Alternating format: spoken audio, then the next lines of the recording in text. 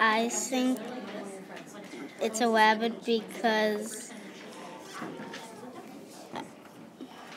it has it ha it eats carrots.